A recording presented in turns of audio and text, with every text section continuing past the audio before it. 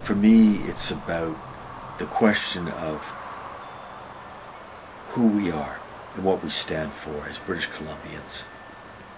Are we going for the fast buck at the expense of the very thing that makes us rich beyond compare because of this amazing environment that we're living in?